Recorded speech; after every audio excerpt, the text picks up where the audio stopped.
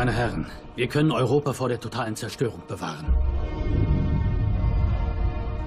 Wir müssen der Welt zeigen, dass wir nicht alle so sind wie er.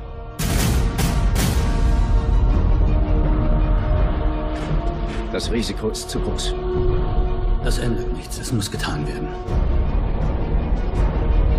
An was haben Sie dabei gedacht? Sie können Deutschland dienen oder dem Führer. Nicht beiden. Aufgrund solcher Reden wurden Sie hierher versetzt, Herr Oberst. Ich habe schon weit Schlimmeres gesagt.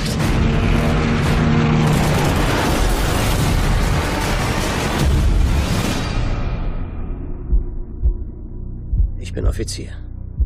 Aber durch den Dienst an meinem Land wurde ich zum Verräter an meinem Gewissen. Wir müssen uns neu organisieren. Die Sache muss erfolgreich sein. Darum sind Sie hier. Für Hitlers Deutschland wird die Sonne nie wieder aufgehen. Kann ich auf Sie zählen?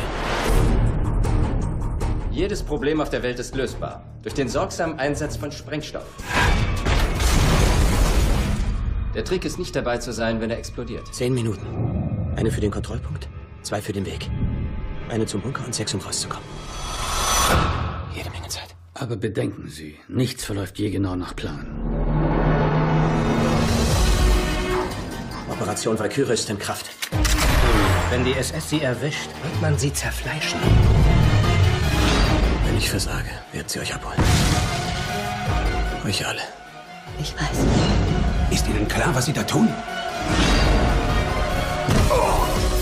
Wir sind aufgeflogen. Jede Sekunde, die wir hier streiten, ist verlorene Zeit. Wenn Sie die Nacht überleben wollen, tun Sie jetzt genau, was ich sage. Warum solltet ihr stärker sein als der Lauf der Geschichte?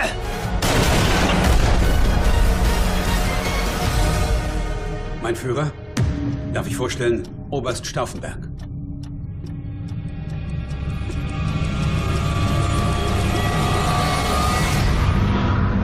Operation Walküre, das Stauffenberg-Attentat.